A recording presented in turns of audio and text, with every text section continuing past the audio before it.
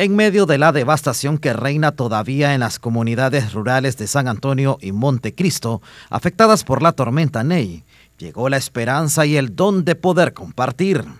Y esa solidaridad la demostró la encantadora Anneli Aguilar, quien no solo llevó salud para todos, sino también alegrías y regalos para más de 200 niños y niñas de esta zona alejada de San Juan del Sur. Mi principal motivación es mi hijo Héctor Salomón y cuando estaba complicada en la unidad de cuidados intensivos yo le pedí al Señor poder vivir para poder disfrutar a mi hijo y poder compartir desde ese momento con niños de escasos recursos. Eh, ha sido tres años de gran lucha, no es fácil andar pidiendo y pedir patrocinio para los niños. El primer año lo pude hacer de una forma personal pero la cantidad de niños ha ido creciendo. Eh, este año esperábamos a 300, 200 niños alrededor, pero son comunidades muy distantes de cabeceras departamental y aquí estamos. Diferentes personas han apoyado y han dicho presente, al igual que muchas empresas. Los mimados de esta zona remota del puerto turístico de Nicaragua vivieron una mañana amena donde sus rostros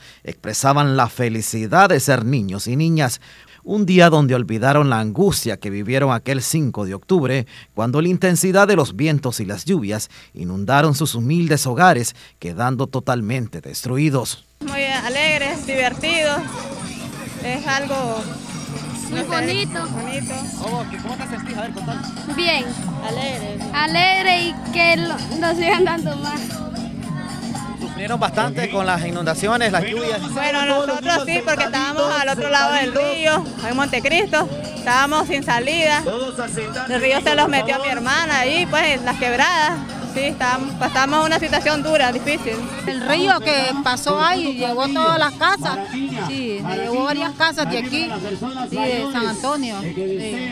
Esta alegría que ha venido les trae esperanza también a ustedes. Esperanza, que el Señor los ayude a estar aquí en este tiempo más que los vienen. Me siento gozosa yo especialmente que hayan venido ya porque me siento alegre más por los niños, los niños lo pegó muy entusiasmados, muy alegres y ha sido bastante placentero que estén aquí.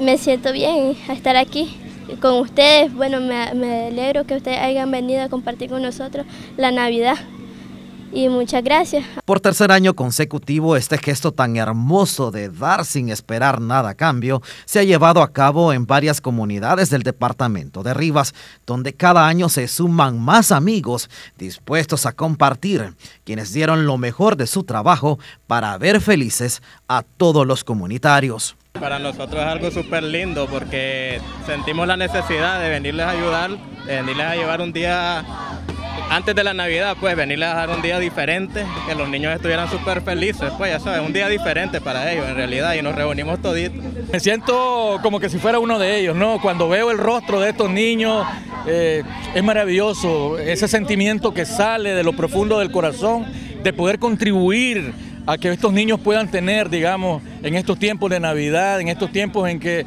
celebramos el nacimiento de nuestro Señor Jesucristo, es emocionante, sumamente emocionante. Tal vez no tendremos el montón para traer, pero aunque sea corte, los peinados, lo que ellas quieran para alegrarlas en el momento, venimos una vez al año, pues es primera vez eh, que vengo con ellos y me ha gustado. Sin duda alguna, la Navidad se adelantó en estas comunidades donde las lluvias se llevaron lo material, pero no las esperanzas de vivir una Navidad y un año nuevo con la alegría que el niño Dios nazca en sus corazones. Héctor Rosales, Notivos.